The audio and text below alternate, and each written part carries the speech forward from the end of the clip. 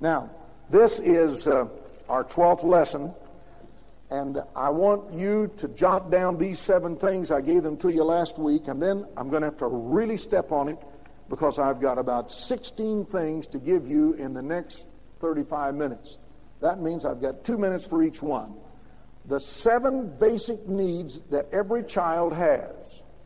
Here they are. First, to be loved. I gave them to you last week, maybe not in this order. Next, to be disciplined. Loved, disciplined, accepted. Number four, to feel security. Number five, to be recognized.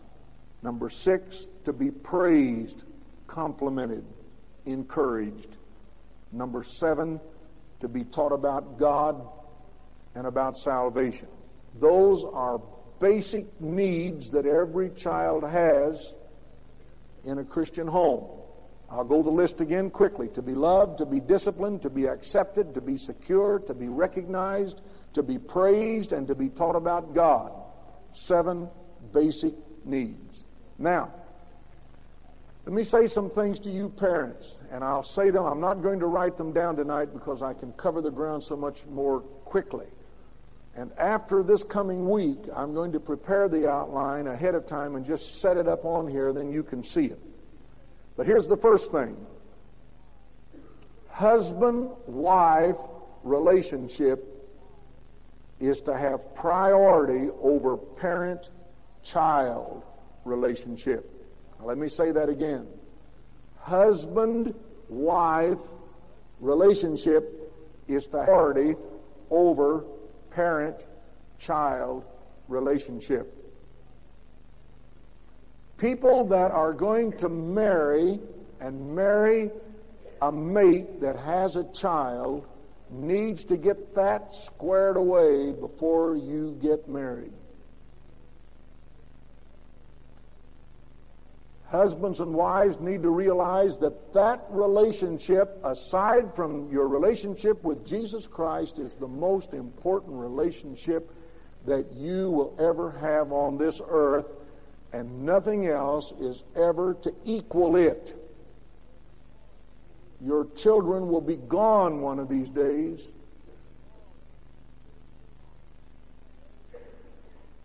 So you better keep the husband wife relationship in its proper priority. So let me repeat that again. Husband wife relationship is to have priority over parent child relationship. And I feel I wasn't going to really say a lot here, but I feel that I need to emphasize there are some of you listening to me tonight that need to really assess yourselves carefully so that your relationship with your children is not stronger than your relationship with your mate. And if it is, you need to walk out of this building tonight determined by God you're going to repair that.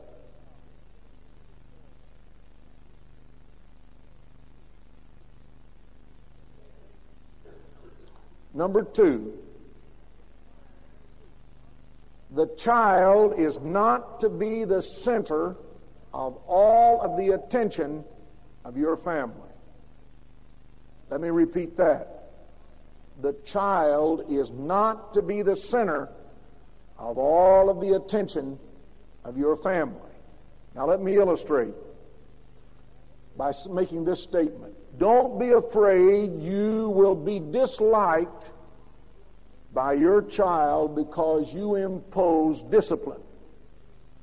One of the reasons today that we're having problems, and I feel qualified to say it after going through what we have gone through in the past few years in counseling with hundreds and hundreds of young people, that too many parents have become afraid that their child will not like them unless they give them things.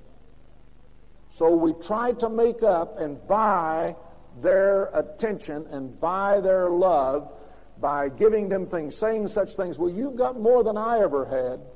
I went through the Depression.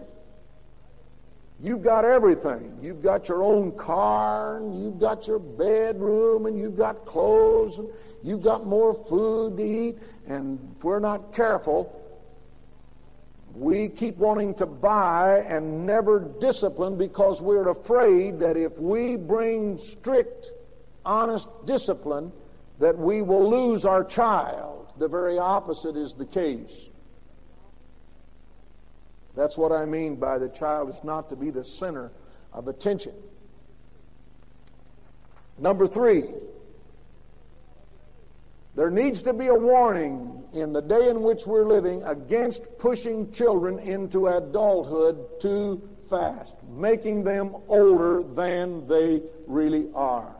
Sometimes you can see some little gal running around that's only two or three years old, that's already, mother's already got her all geared up to be a teenager.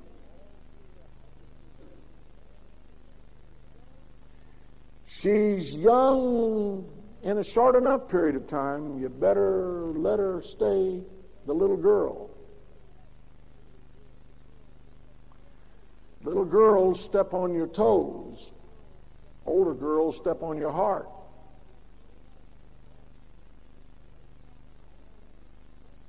And that's not only, it's especially true with girls, but it's not girls excluded or exclusively.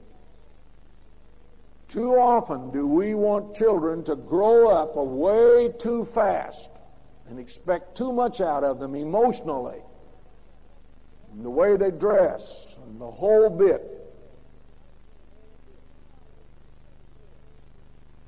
Number four, there's a lot of meat you can add in there I'll give you the guidelines and you put the meat on.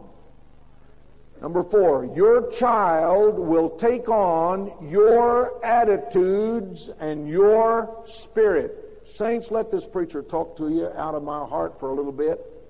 You want to be careful what kind of a spirit you manifest, particularly as it relates to the things of God.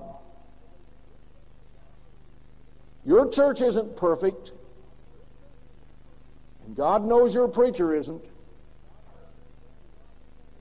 You need to thank God you only have to listen to me. I have to live with me. You can get up and go, and I got to stay with me. Pray for Sister Paino.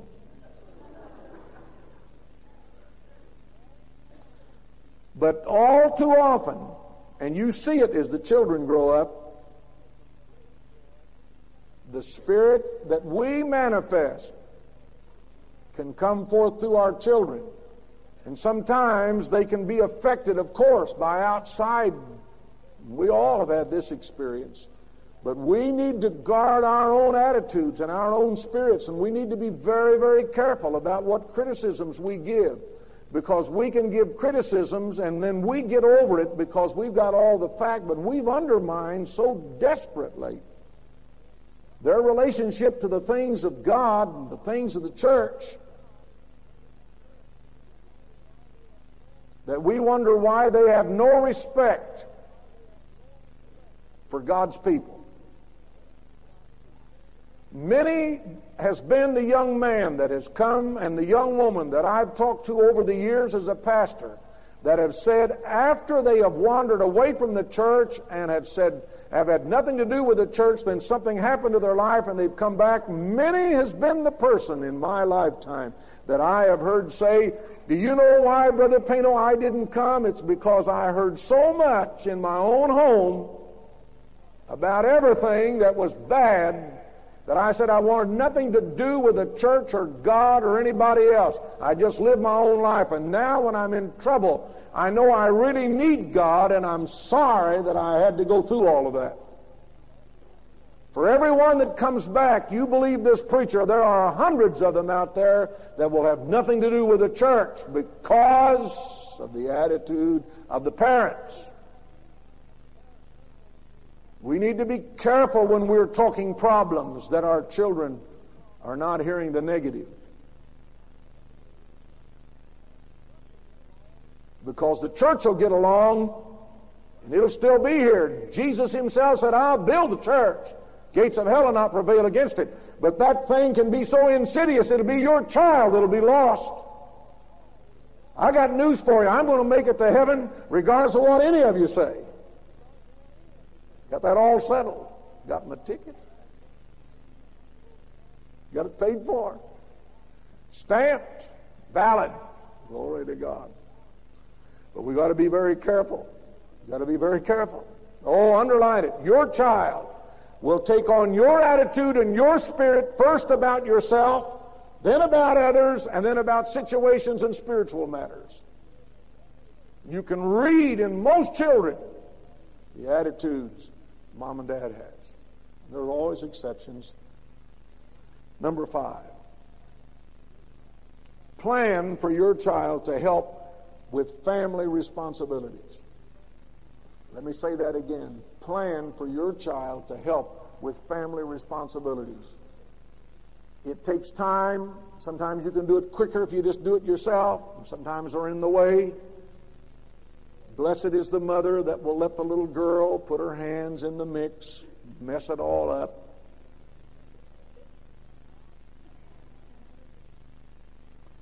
Just be sure that we keep the responsibilities fair. Let's pause for a moment. It's one thing to write it down, but parents, let's ask ourselves the question what do I expect out of my children as a responsibility in the home? And if I've got more than one child, is it fair what I'm expecting? Analyze it. Stop tonight and ask yourself the question Is what I'm demanding fair and right?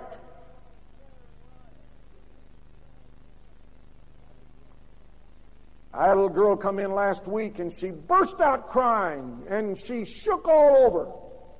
Her parents don't come here to church. She said, Brother Paino, it's not fair. I'm a slave. She's only 16 years old.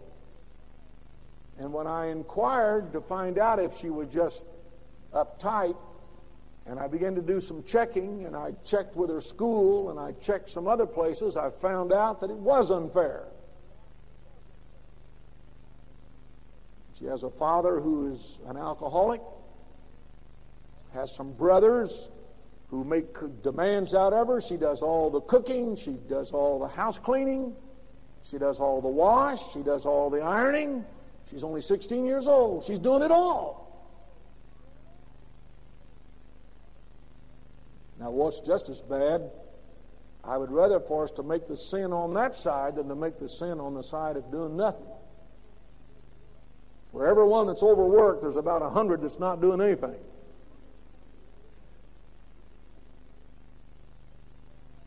So if there's some little gal out there today and mother's asking you to, you to do the dishes, you're not overworked, honey. Just smile. I'll tell you, dishes even go better when you smile. There were eight kids in our house, and us boys had to take our turns doing the dishes. My brother and I used to flip over who was going to wash and who was going to dry. I used to like to wash because you get done quicker.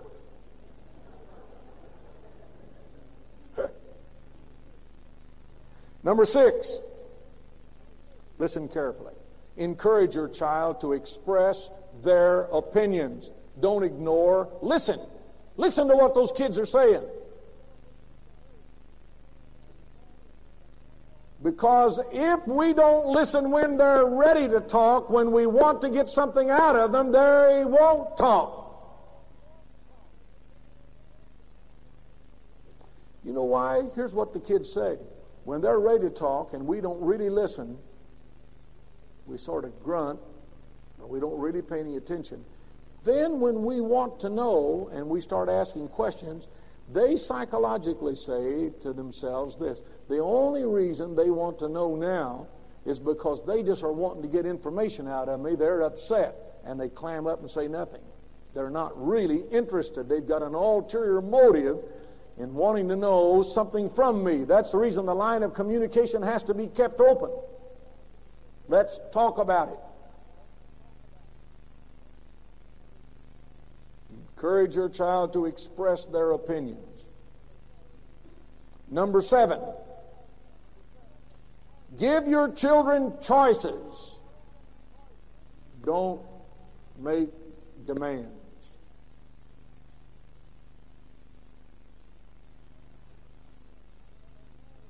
It's like the fellow that said that he had a dog that always obeyed him because when he spoke, he would say something like this Fido, you come here or stay there.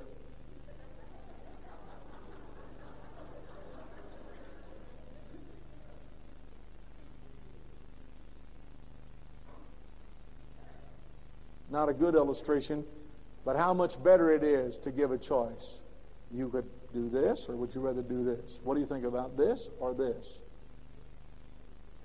Now, I refer to my own mother, godly, praying, spiritual mom. She's in heaven. But when I was growing up, my mother was a little fiery gal about this high. And she didn't give you choices. She said, Do it. And there were eight of us. She was top sergeant. Boy, she barked. She meant get with it.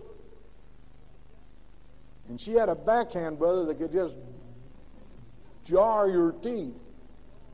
The little gal down here, you know, us great big old husky guys, she'd do something and we'd sort of fool around and she'd go bang. She said, I said, do it.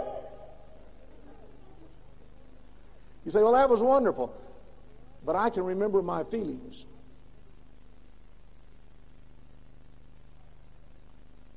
I was angry. I was resentful. I didn't swear because I had too much tre- teaching to tell me not to, but I said everything as close to swearing as I could.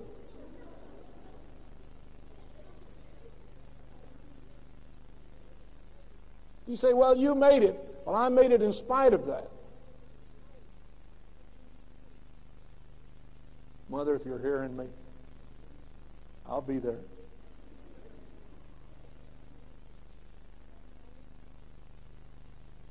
You say, Aren't you honoring your mother? Yes, sir. I'm just trying to be honest with you.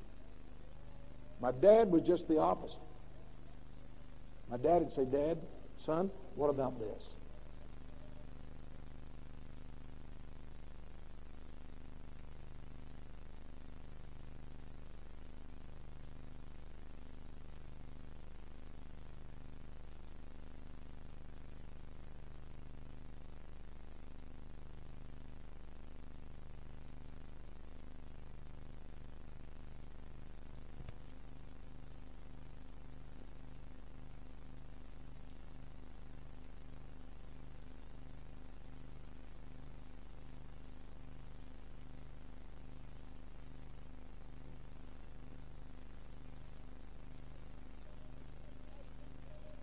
I've seen some of you come in because one of the men said, Park over there. I've seen some of you come in, you had smoke coming out of your ears. I can see, oh, Lord, help them now. Help them to pray through.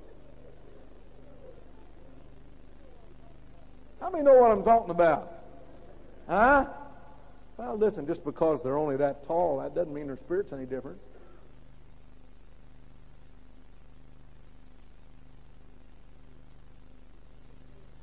Give your children choices. Number eight, spend planned time with your children. There's, a, there's one word there that's a real key. Planned time. Let me tell you why it's important to spend some planned time. It's because all of a sudden the child realizes that you really want to be with them. You've planned. The reason I encourage families to take vacations.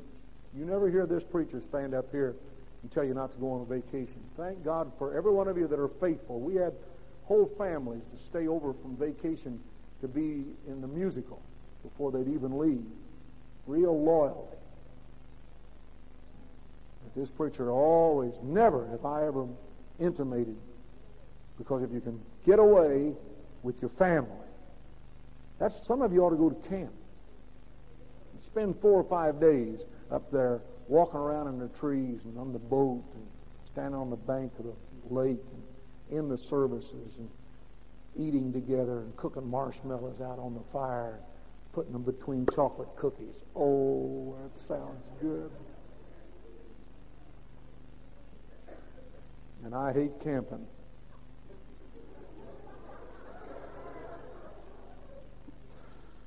God's asked me to do some strange things in my day, I'll tell you. Spend planned time with your children. I was on the airplane today and was delighted to death. There was a great big six foot two fellow sitting in front of me, and, and, and he had a, a little gal, she's about that tall. I'm going to guess that she was maybe eight or nine. And then a little guy over here, I'm going to guess he's about six or seven. And he, by himself, now the reason I knew because I overheard him talking, he's right in front of me. Left this morning on the airplane and took both kids to Chicago and kept him with him all day, and now he's flying back. And those kids were so excited. But I heard him say, and I can't use all the language he used. He was from Fort Wayne. I, I didn't know him. But he said it, and you have to imagine all the other additives he put. He said, I don't know if I'll ever do such a blankety blank thing again. He said, I am worn out. They were dad this and dad that. And dad, don't forget this surprise. And dad, didn't we have a good time here? Now, he was worn out, but those kids, they weren't walking. They didn't even need an airplane to fly. They were flying in that airplane.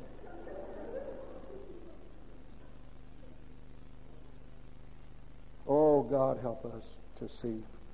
Number nine, compliment your child and encourage trust.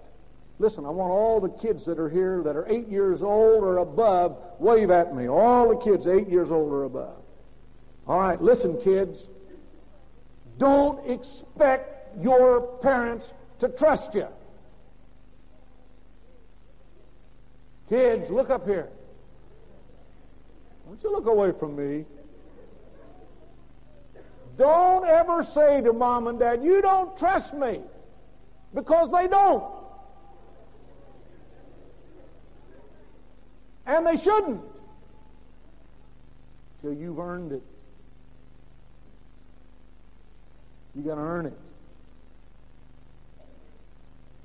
So, parents, when you tell them to do something and they do it, encourage them.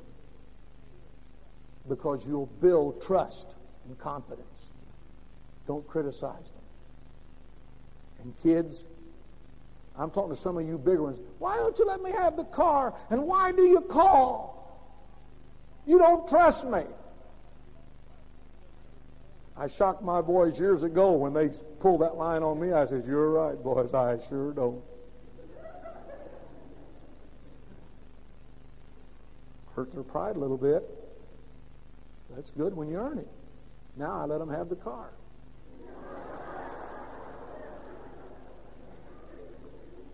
once in a while. Number 10, be extremely cautious about three things criticism, embarrassing them, and making them an example. Didn't say you couldn't do it, I said be very cautious about it. Number 11, don't ever compare your child with anybody else. Because there's nobody else like your child.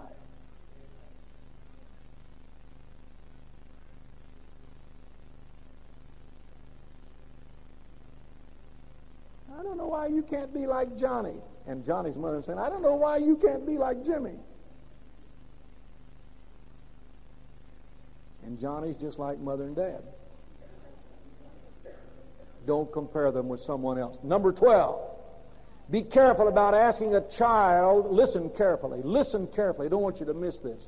Be careful about asking a child to fulfill your dream.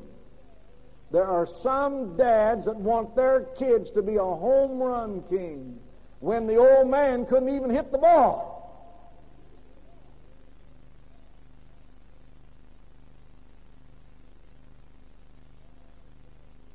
I'm glad I had a dad that said, Son, I'll never call you to preach.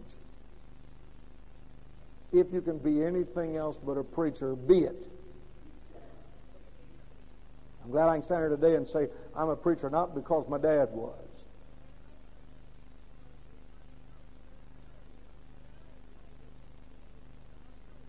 I know a little guy, he's not little anymore, he's in college now.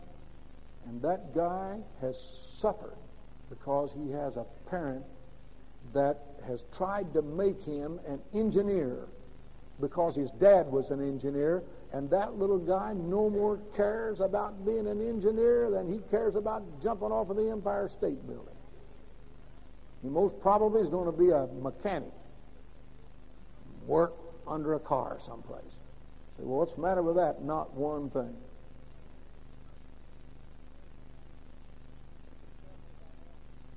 Be careful about asking a child to fulfill your dream. Here's a hard one, but listen to it. Don't reject their friends. But you say their friends aren't any good for them. If you don't reject them, they'll find it out a lot faster. If you reject them, they're going to defend them. And the more you reject them, the more they'll defend them. And then they'll slip off because they feel like they want that choice.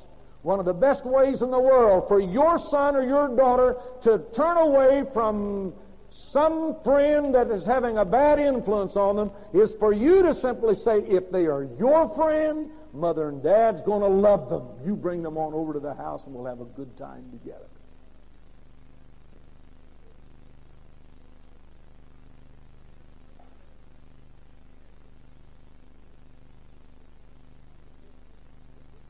Are you listening? Don't just write it down and say, oh, that's for someone else. No, no, no, no, it's for you.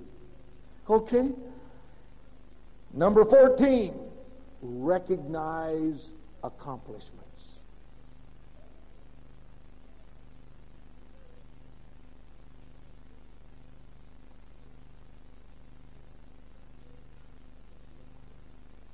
I've been doing a little experimenting watching some very precious youngsters come to the preacher. And I suppose that the preacher got more Easter cards from little guys and gals than maybe anybody else around in the audience tonight.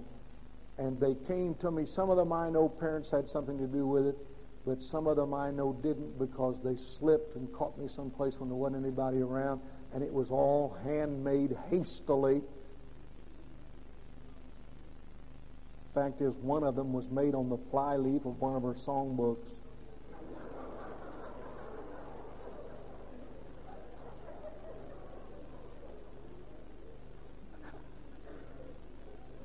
I'm going to send the bill to Dad.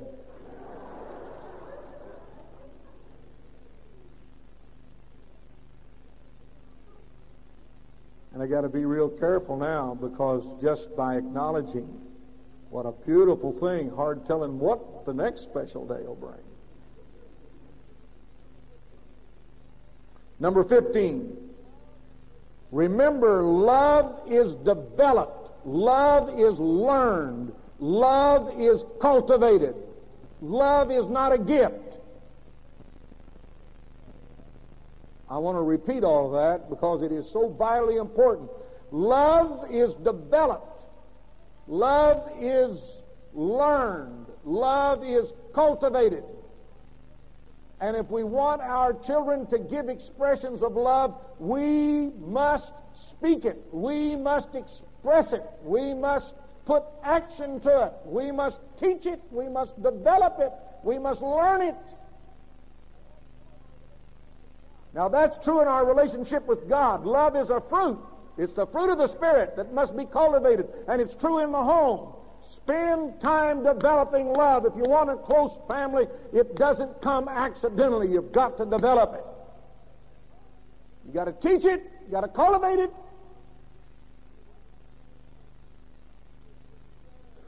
Some kids wouldn't dare put their arms around their parents. They'd be scared to death. Some kids would scare, be scared to death to kiss mom and dad.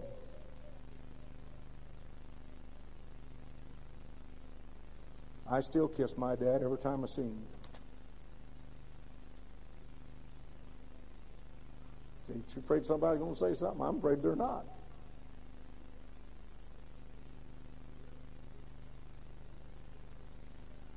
Number 16.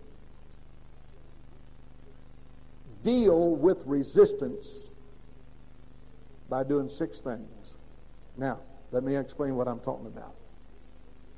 How many parents here have ever had the experience of saying to you, one of your children, either as they were growing up or even now, John, Susie, Bill, I'd like for you to do this or do this, and they didn't do it? Have you ever had them just fall on the floor and kick their heels? Have you ever had him just scream and say, No, I'm not going to do it? Most all of us have had some form of that resistance, and all of us have had experiences with it in our own lives, if we'll just be honest. Now, how do I deal with it? I'll tell you. I'll tell you, I had a Sunday school superintendent in the first church I ever pastored. I can still see old Lloyd Lewis just as though Lloyd was in church tonight. And he's been gone to glory for 30 years. But he had a grandbaby. And this grandbaby, when they bring this child to the table, if the child, if the mother started to feed it something in a spoon, this, this grandbaby would stiffen up and scream and then hold its breath and scream until it, it, it'd pass out. And then, of course, once it passed out, you know, it'd, it'd be all right. And I, you know, I just a young preacher, and I can I remember one day when this we were out to their home and this little old baby's just and Grandpa said, "If you'll let me, I can cure that." And the mother, this had been going on for weeks and weeks and weeks, and she was so distraught. The mother says, "Well, Granddad, he does it again. I forget now it's a boy or a girl. Doesn't make a difference. I'll say it's a boy. I don't really remember. Said if he does it again, do whatever you have to do. Granddad said, okay. He was a great big fellow, weighed about 300 pounds. He was sitting there next to his granddad. He didn't have long to wait. Mother tried to do something, had a little. The Lord just reached up and got a glass of water and went,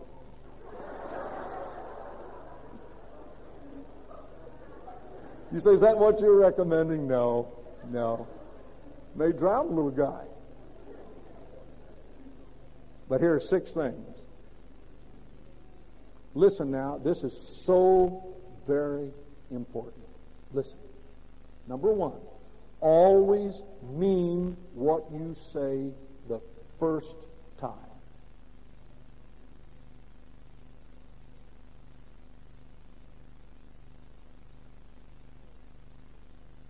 If you say, Mary, carry the garbage out, then don't yell it anymore. Walk in the room and get Mary by the arm and say, I said to you that you would take the garbage out now.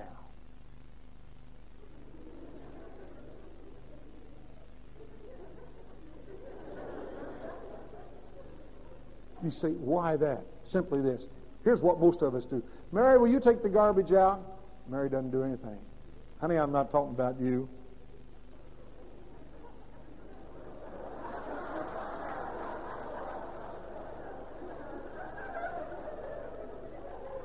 And Mary sits there because she knows we don't, you know, really mean it, and maybe she'll get by and not have to do it, and mother will go ahead and do it anyway.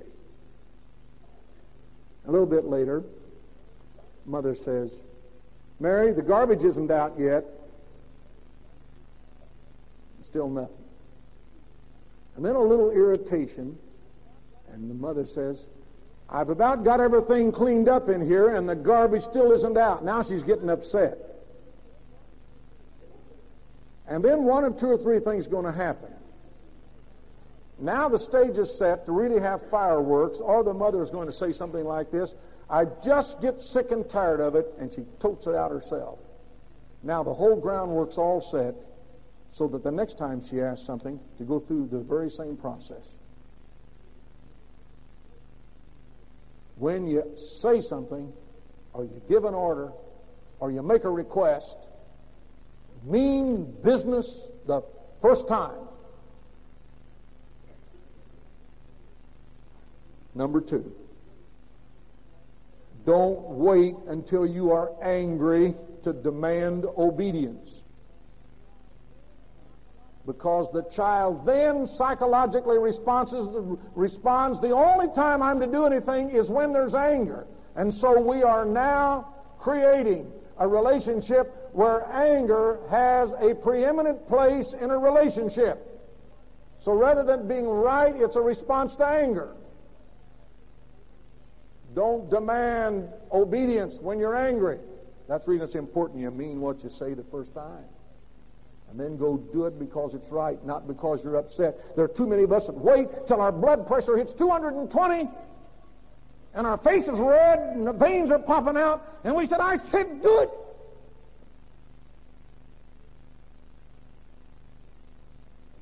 I wish you could be a teacher because I just felt that hit all over the place. Just Number three, don't compromise.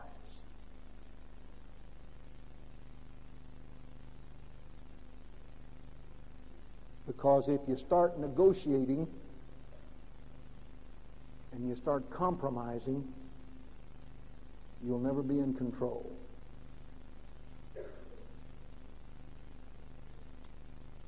Number four, listen, parents, be sure dad and mom stand together in the request.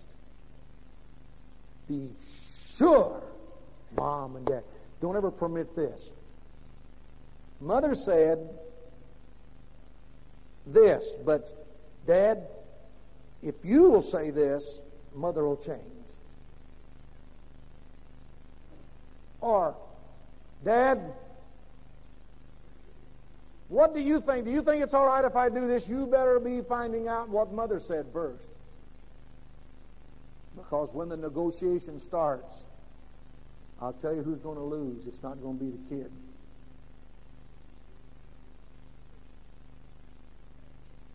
Number five,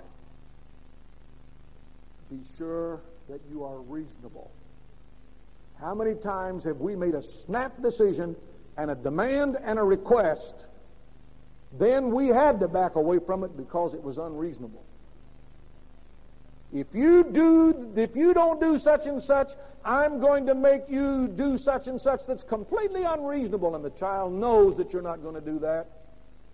If you're going to ground a child for something and they're old enough that you're going to say, I'm going to ground you, it's silly to say, I'm going to ground you 30 days unless you're prepared to see they're grounded 30 days. Because if you say 30 days and compromise for two weeks, you started a negotiation scheme. Every time there's a demand, the negotiation starts. Be sure you are reasonable. Number six, tough Believe me when I share these things with you that I wish I could give myself a passing grade on all of them. The reason I know some of the answers so well is because I flunked it.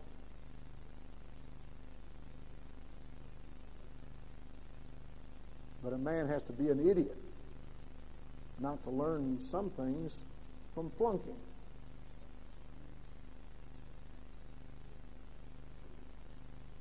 Number six, and this is the last one. Show patience regardless of the behavior of the child.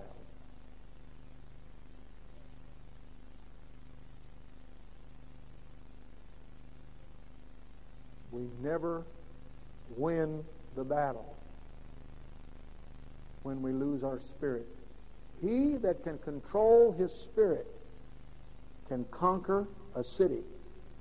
The Bible says.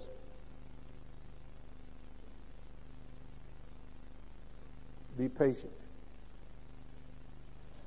I've been amazed at how often young people will come up balanced out when we adults stay patient.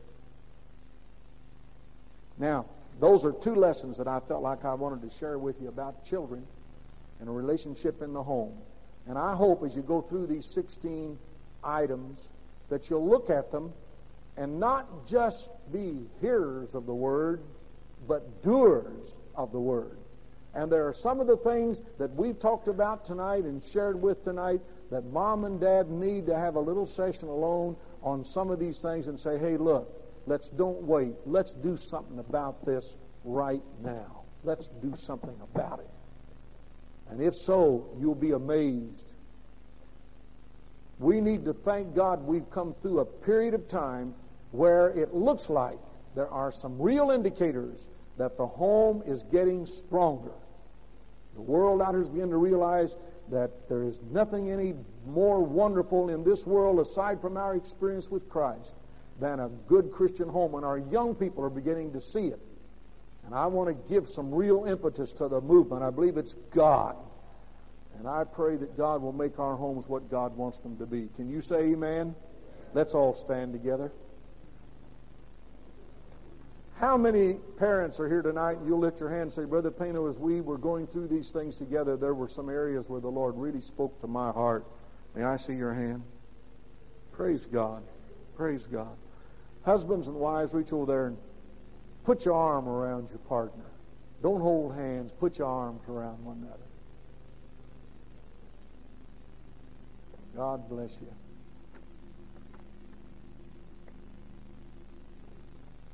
I want to pray for our families. Precious Lord, there are mothers and dads here. In some cases, there are single parents here. And as they are raising their children, they need your wisdom.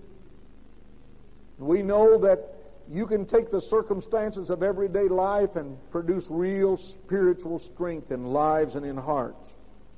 So I ask tonight that where there's been problems and where there have been mistakes and where there have been wrong decisions, that you'll bring healing. Lord, we felt impressed of your blessed Spirit to teach on these most important matters. And as we grow and go on through this year, as you should tarry, and we get into even deeper, desperate things, grant us wisdom. Send people out so that our homes can be the strong bulwark that you intended them to be. Lord, there are those that have got some real difficulties, and the devil's got in and taken advantage in some of these areas. So I take authority over his power tonight, and I ask that there be a sweet healing, that husbands and wives and mothers and dads would feel closer together than they ever have.